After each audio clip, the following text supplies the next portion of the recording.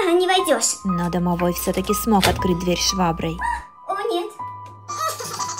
Она тут же забралась на стол. Домовой не на шутку разозлился. Ей стало очень страшно. Он в растерянности бегал вокруг стола.